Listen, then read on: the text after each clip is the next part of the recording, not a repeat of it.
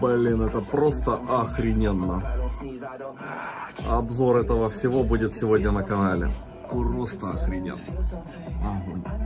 Ребят, Sony здесь, добро пожаловать на мою студию. Я купил новый монитор, причем не лишь бы какой монитор, один из лучших мониторов 2021 года, по моему мнению, поскольку здесь у меня, а, как вы помните, новенькая зона образовалась подвижной платформой 2 DOF, и я использую старый уже достаточно 2016 или не, 17 по-моему, года телевизор Sharp 4K, 60 Гц и бюджетный на самом деле телек, у него даже HDR нет, ни хера нет.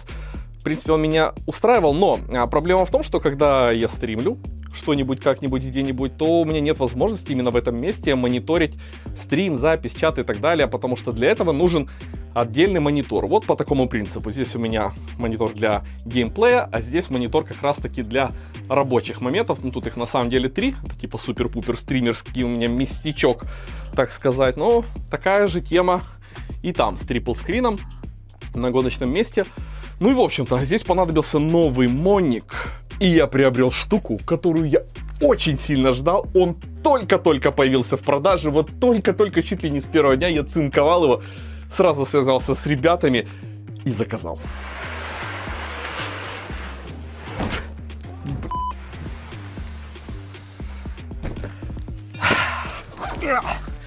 Ну вы знаете, то, что я большой любитель больших коробок. Конечно же, это монитор от Philips, но это не совсем та модель, которую я обозревал несколько месяцев назад. Это ее обновленная версия. Я этот монитор очень сильно ждал. Давайте распаковывать.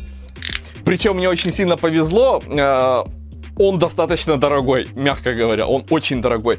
Но мне он достался с небольшой скидкой, потому что здесь немножко примяли коробку. 15% скидом получился, чтобы быть точнее, с такой суммы это приятно.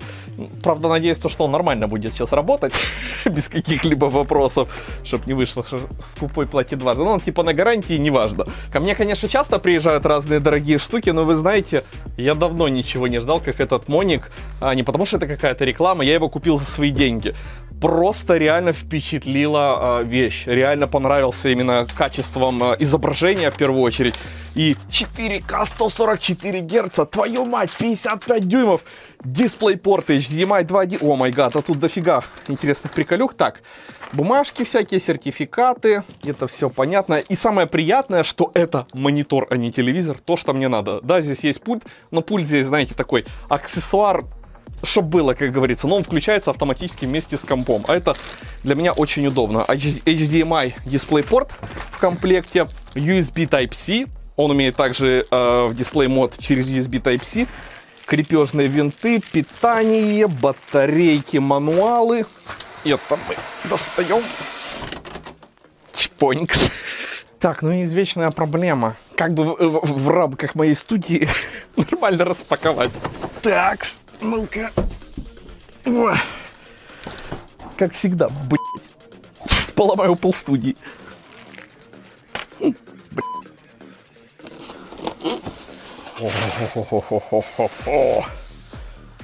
Интересно, уголки-то они пофиксили? Ну, не идеально, но получше, наверное. Блин, какой же он красавец, а? Так, как всегда, у меня проблема тут с коробкой. Единственный вариант – это идти сквозь коробку. Так, ну давайте я вам хоть бегло покажу, что это такое. Вот так выглядит эта красота. Блин, ну красавец. А, металлический, холодит руку. Просто топчик. Он, конечно, не самый тонкий. OLED. Я вот выбирал между OLED телеком от LG, естественно, и вот этим Philips. Но, честно говоря, этот Philips для меня лично не оставил никаких шансов OLED от лыж. Такая толщина. MB Glow, подсветка. То есть сзади, задняя часть вся полностью в светодиодах. Интересно, что-то поменялось в плане работы. Я, конечно, сомневаюсь, но все же. Удивило веса. Всего лишь 20 на 20 сантиметров.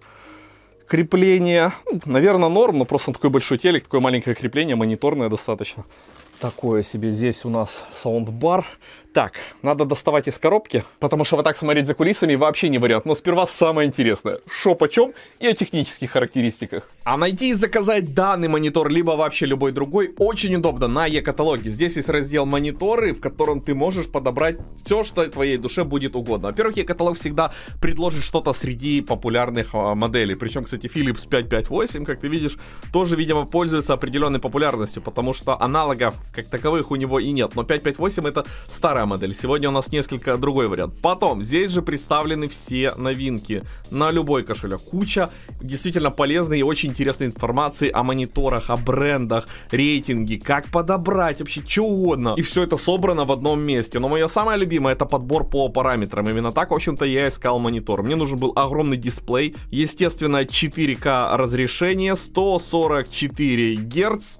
И таких есть всего лишь 6 моделей на рынке. И обрати внимание, они все в основном 43 дюйма, при этом стоят достаточно немалых э, денег. Есть только лишь один HP Omen за 167 на минуточку тысяч гривен, это просто жесть какая-то. И вот э, герой сегодняшнего видео это Philips 559M1RYV. Модель только появилась на рынке, вот только-только. Я буквально один из первых, наверное, его а, приобрел. Цена вопроса стартует от 42 тысяч тысяч гривен. Вроде бы дорого, на самом деле не дешево, но если сравнивать с конкурентами, аналогов данному дисплею на данный момент нет. Потом, по характеристикам.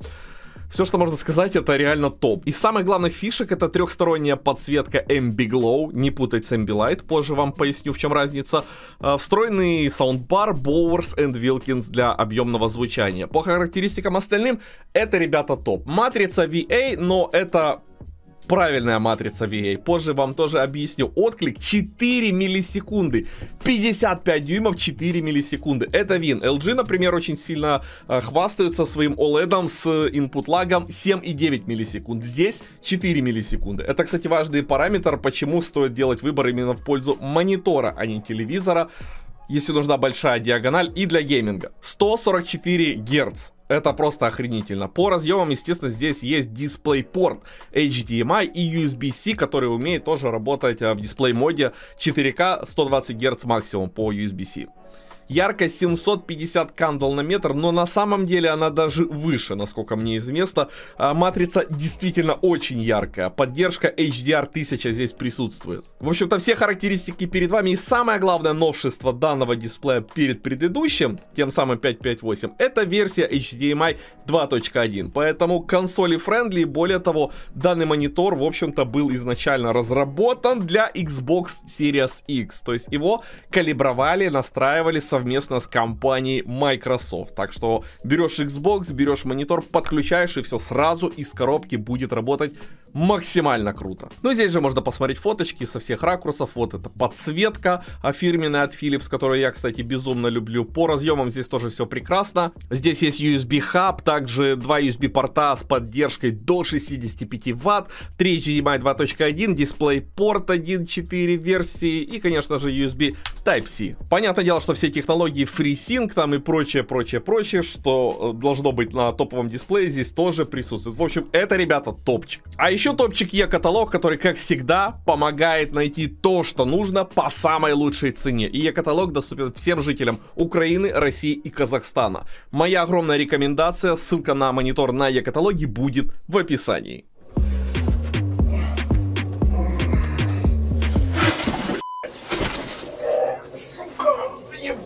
тяжелый. Сейчас я, наверное, буду такие дифирамбы тут петь, что многие из вас подумают, что я, наверное, капитально продался Philips за этот монитор. Но дело в том, что я его реально приобрел за свои деньги, и это, черт побери, немалая сумма, полторы тысячи баксов. Но это тот момент, когда ты столько получаешь впечатлений, что жаба все равно душит от того, что ты потратил полторы штуки баксов за какой-то там мониторчик. Но какой же он, черт побери, крутой просто невероятный. Я говорил о качестве изображения еще в обзоре на предыдущую модель, то есть предыдущий этот Philips, и я скажу то же самое, в общем-то. Невероятно! Я просто не представляю, как инженеры Philips умудрились настроить VA-матрицу, VA, или VA, VA, короче, VA-матрицу так круто она просто идеальная, на мой взгляд. Причем здорово, что без всякой там калибровки просто достал из коробки и получаешь неистовое удовольствие от этого изображения. Оно очень приятно и комфортно глазу. Здесь идеальный черный, здесь идеальная подсветка, то есть ни единого какого-то засвета, пятна. Какой бы ты там тест не включил, просто идеально качественная, ровная картинка. Идеальный белый, идеальный черный, сбалансировано. Яркость просто с таким запасом, что я хрен его знает. На 85% он очень яркий, а тут, в общем-то, лупит в этот монитор, чтобы вы понимали, вот прямо сейчас студийный свет, плюс на потолке тоже дохренище освещения и яркости здесь просто за глаза. Обалденный аппарат именно с точки зрения изображения, качества, сборки, подгонки всего. Я, кстати, очень сильно э, критиковал, ну как сильно, что уголки тут были ну, какие-то такие себе фокус. Хочется сказать, что они все еще не идеальны, если прямо всматриваться туда, но они стали определенно лучше в этом экземпляре. То есть там что-то типа как-то не очень так супер-пупер, но это я уже докапываюсь, ребят, просто обалдеть как. А в целом качество сборки данного, почему-то мне всегда хочется назвать телевизора, но это монитор все-таки, оно просто идеально на высоте. Опять же, я выбирал между LG OLED и данными Philips'ами. И LG OLED, на мой взгляд, конечно, интереснее будет, потому что он тоньше. Ну, правда. То есть с него можно трипл скрин забабахать огонь. С этого будет сложно, но и не для того он, в общем-то, нужен. Этот монитор скорее интересен как вариант для гостиной. Еще раз повторюсь. Причем, не в последнюю очередь я бы рассматривал данный дисплей Э, в качестве телевизора. Да-да, именно телевизора, а не монитора. Здесь хочется пояснить свою мысль. Дело в том, что телевизор обычно покупают как Smart TV. То есть все в одной коробке, и дисплей, и операционная система, куча приложений, вот это вот все. Но я, если честно, очень не люблю стоковые Smart TV, неважно какие, будь то Tizen, будь то WebOS, будь то Google TV. Оно все в телевизорах работает так себе, очень быстро устаревает. Год, максимум два, все, идет на помойку твой Smart TV, потому что он уже устарел устарел, производитель забрасывает поддержку, никакие обновления не выходят, и, в общем-то, очень быстро оно все начинает работать так себе. Поэтому, на мой взгляд, интереснее связка классный, действительно качественный дисплей, плюс правильная приставка, либо Apple TV, либо Nvidia Shield просто идеальные приставки, которые работать будут годами, так же, как и дисплей. Дисплей ты покупаешь, в общем-то, на много лет вперед, но он быстро теряет актуальность именно вот из-за Smart TV. А матрица, конкретно вот в этом аппарате, я не представляю, что должно случиться, чтобы что-то ее реально, ну, прям переплюнуло на голову, чтобы появилось желание заменить вот это на что-то другое идеальное качество изображения. Сюда ты просто под, подтыкаешь какую-нибудь правильную приставочку, и у тебя получается невероятно крутое, красивое, быстрое, качественное устройство. 4К 144 Гц. Как же это, черт побери, круто выглядит именно в гейминге. Качественное, детализированное, сочное, просто кайфовое для ваших глаз изображение в купе с идеальной плавностью. 144 Гц и 4К это на самом деле магия. Больше а, по разрешению, ну фиг его знает, но по частоте я не вижу никакого смысла. Я делал тесты разных мониторов, даже там супер-пупер быстрых, там 360 Гц. Я лично не вижу никакой разницы между 144 и 360. Вот вам в качестве примера. Здесь же, ну просто невероятно. У меня это однозначно самый качественный, самый э, крутой дисплей. И, на мой взгляд, честно, это один из лучших дисплеев 2021 года. Я, конечно же, видел не все, справедливости ради стоит отметить, но, черт побери, насколько же он хорош. Вот честно, в плане качества изображения мне придраться здесь не к чему. Лично для меня здесь есть один э, достаточно весомый недостаток. Это саундбар. Он здесь есть и замечательно. Я понимаю, что подавляющее большинство людей покупают и все в одной коробке, о, круто выглядит и вполне себе круто звучит наверное, большинства людей качество звука устроит, но не меня. Для меня здесь нет абсолютно никакого баса. Когда у тебя на студии вон там стоит э, 12-дюймовый монстр, ну, как бы не подключить его к данному саундбару, ну, просто грешно на самом деле. А вот проблема в том, что возможности подключить отдельный сабвуфер э, к данной звуковой системе нет никакой. И выходит ситуация, когда вроде бы звук ничего такой, а, ну, то есть вполне себе приятный, и хотелось бы немного добавить баса, который как бы есть уже здесь и сейчас. Вон он там стоит, этот сабвуфер. Но как бы вариантов нет никаких. Там есть один аудиовыход, если в него потыкнуться, то саундбар сразу отключается. Поэтому адекватные возможности синхронизировать а, чтобы громкость э, была на одинаковом уровне и регулировалась вместе данного саундбара, а также отдельного сабвуфера здесь, к великому сожалению, нет. Именно поэтому я говорю, что для подавляющего большинства людей качество звука данного саундбара будет за глаза. Для меня же это полное отсутствие низов и сильно выпеченные высокие частоты. Средних частот здесь маловато, в целом звучит окей, и если бы я смог подключить э, сабвуфер, то меня бы данный звук устроил, а так у меня, в общем-то, стоят здесь полочники, не просто так они здесь томятся вместе с AV-ресивером, который тоже здесь прямо на сабвуфере стоит, и приходится использовать всю эту технику, ну, как-то так. То есть куча э, лишнего, так сказать, барахла, которым, от которого можно было бы избавиться, и на то есть определенный смысл, но возможности таковой не представляется, к сожалению. Еще хотелось бы обратить внимание на комплектный пульт. Достоинство это то, что он здесь есть. Остальное все практически сплошные недостатки. Я считаю, что этот пульт абсолютно не соответствует классу данного э, монитора, потому что за полторушку как бы пульты обычно в 55 дюймов дисплея ложат ну, как правило, премиального качества, они круто выглядят, с крутыми материалами, вот это вот все. Это же максимально простая штука, обычные резиновые кнопочки, максимально недорогой пластик, но радует то, что пользоваться им особо не приходится. Ты раз дисплей настроил, ну и все, громкость как бы проще регулировать из-под винды, потому что это будет э, тупо быстрее, ибо если начинать это делать с помощью а, монитора, обрати внимание, я вот сейчас просто давлю кнопку, вот давлю, как медленно эта громкость увеличивается.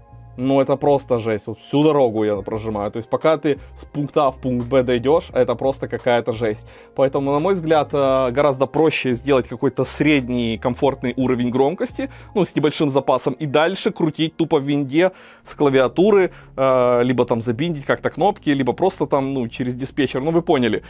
Потому что это такой себе а, вариант. Также здесь можно очень быстро регулировать яркость. Сейчас дисплей работает на 85%, и мне этого при всем вот этом освещении, я повторюсь, просто за глаза. Если включить режим HDR, он просто выжигает глаза. На самом деле, нереально яркая матрица. Я не знаю, любителям именно ярких э, матриц точно зайдет. Я не люблю супер яркое изображение, но здесь в студии мне приходится выкручивать до 85. Дальше это уже немножко перебор.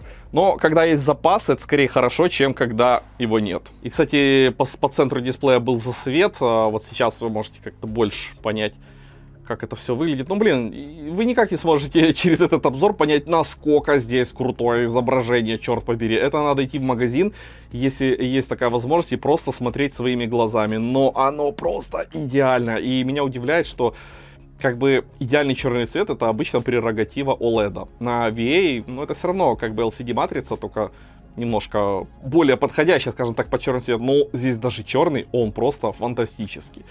Видимо, там какая-то хитрая а, подсветка используется. Ну, круто действительно выглядит. Просто не до чего докопаться. Здесь есть такая тема, как Ambiglow. Это подсветка сзади непосредственно монитора. Вот сейчас она стоит просто статичная, а, синяя. И, честно говоря, она чем-то проигрывает Ambilight от того же Philips, а в чем-то даже выигрывает. Проигрывает она именно, если выбрать вот режим отслеживания а, видео. Потому что вот если ее включить, то как-то оно работает. Ну вот сейчас, например, практически, ну, никак. Вот это все, что вы видите, это отсветка, подсветка от прожекторов. А синяя, пожалуй, выключу их. Вот конкретный пример, то есть игра The Last of Us Part 2, и, ну, как-то вообще никак. Если включить какой-то тест Ambilight, то получается эффект, когда м, дисплей повторяет, вот сзади там есть светодиоды, и они пытаются повторять то, что происходит на экране. И, в общем-то, в принципе, кажется, то, что все окей, но если присмотреться внимательно, то есть некая ступенчатость в отличие от технологии Ambilight. То есть цвета меняются не плавно, а как-то рывками немножко. Как будто они меняются не там, скажем так, 60 кадров в секунду, а 10 FPS и не больше. Ну, то есть там 3 раза за секунду, даже нет, скорее 2 раза за секунду, где-то так. Не знаю, насколько это сможет передать камера вот конкретно сейчас, но не очень плавно. Ну, как бы это ты видишь даже, когда ты смотришь прямо в дисплей, ну, то есть вот вроде бы фоновая подсветка, но это бросается в глаза, вот эта вот рывковость, ступенчатость. Она реально заметна. Не знаю, почему эта технология работает именно так. То есть, в принципе, ее, в общем-то, вот видно по синему цвету ее радикально не допилили в сравнении с предыдущей моделью. Но, повторюсь, это не Ambilight, а именно Ambiglow. Но есть обратная сторона медали. Это огромное множество разных режимов а, данной подсветки. Ты можешь включить, чтобы подсветка менялась, ну, как-то так. По часовой стрелке против часовой стрелки. Вот она начинает по кругу как-то вот так вот мельтешить. Можешь выбрать другой режим, волна цвета, и будет вот такая вот фигня, такой эффект телевизоров Philips, по крайней мере в моделях до 2019 года включительно, у меня последний Philips именно такой, этих приколюх нифига, а нет, есть пульсация цвета. Там тоже есть пара режимов, но их всего лишь парочка. То есть пульсация это вот, ну, пульсация, да, в принципе, очевидно. Загорелся, погас, загорелся, погас. Есть звездная ночь какая-то там. Кстати, очень необычная штука, особенно если отключить освещение. Сейчас вырублю. Вот как-то так это выглядит без а, освещения. Ну, только непонятно, почему очень медленно оно работает. В принципе, эффект достаточно прикольный. Либо можно выбрать просто статический цвет, как это сделал и я. А дальше можно выбрать подходящий цвет. Здесь цветов очень много. Опять же, в Ambilight э, вариантах там, по-моему, буквально 5 цветов. И все. Здесь их очень много. Прям на любой вкус и цвет можно выставить, чтобы вам было а, приятно смотреть на дисплей. И, конечно, какая бы подсветка ни была, она очень круто выглядит.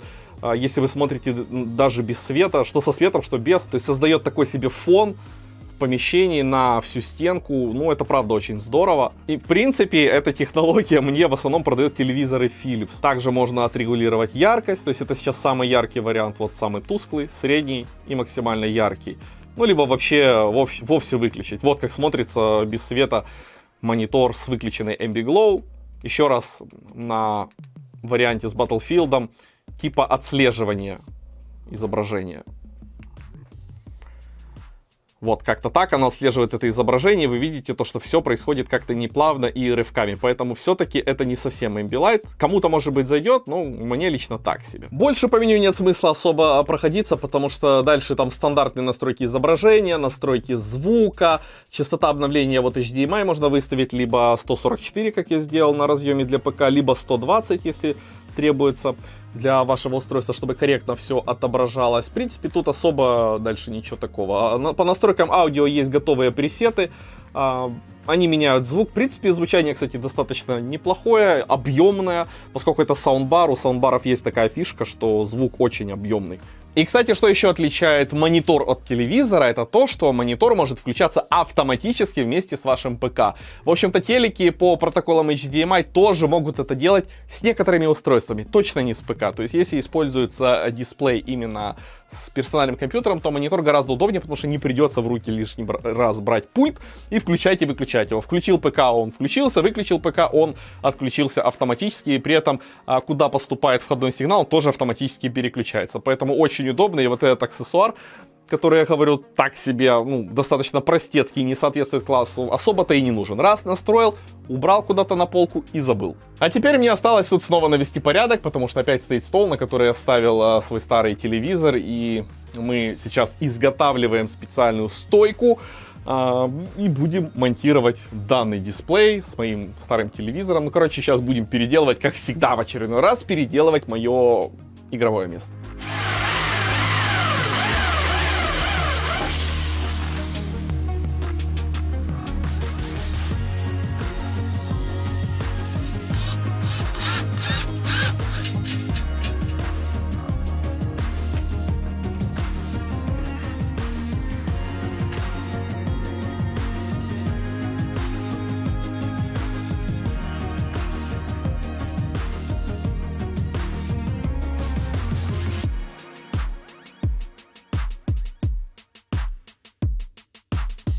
Знаете, данная студия на самом деле очень сильно впечатлять начала даже э, меня. Я, конечно, немножко зажрался, немножко техногик и вот это вот все, у меня дофига всего.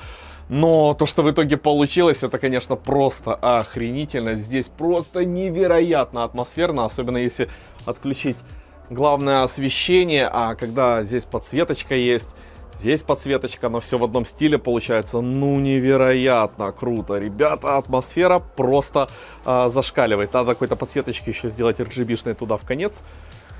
Вообще поработать, наверное, в этом плане. Тут типа есть потолочные лампочки, но они что-то бестолковые на самом деле. Но, блин, как же мне нравится то, что вышло. Это просто космос. Два огромных дисплея 4К.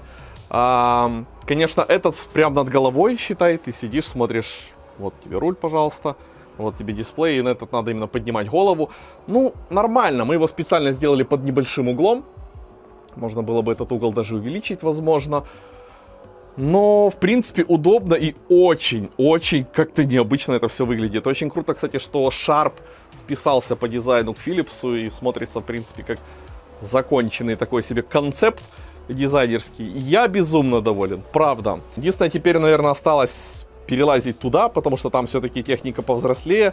Будет теперь немножко больше времени на гоночки, именно на записи работы над таким контентом, потому что, честно сказать, на построение вот этого места у меня ушло слишком много времени, прям чересчур. И, кстати, огромное спасибо моему отцу, в очередной раз помог сделать кастомную такую себе стойку, на которую мы это все закрепили. Вышло очень круто. На мой взгляд, телек смотрится как будто парит подвешенный.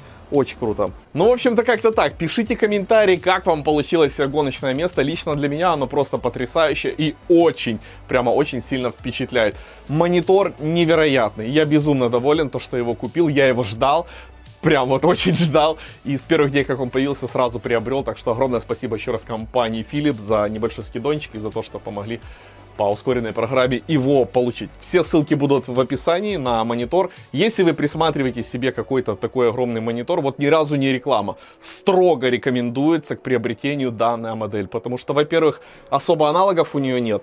На том же e-каталоге, если порыться, там 55 дюймов, ну нет дисплеев. Есть тоже крутые 4К, 144 Гц, окей, не вопрос, но они все либо меньше, либо больше, и там цены просто жесть. То есть э, этот дисплей без аналогов. Главный недостаток для меня, еще раз повторюсь, это малая саундбара. Если бы можно было подрубить саб хоть как-нибудь, хоть по беспроводу, хоть как-нибудь, я бы еще убрал отсюда, наверное, ресивер, акустику и оставил бы чисто саундбар. Принципе, со своей задачей он справляется, но музыку слушать мне хочется больше баса, тем более то, что у меня все это дело есть. Ну, как-то так, ребят. Насчет проекторов, я думаю, что этим я займусь несколько попозже.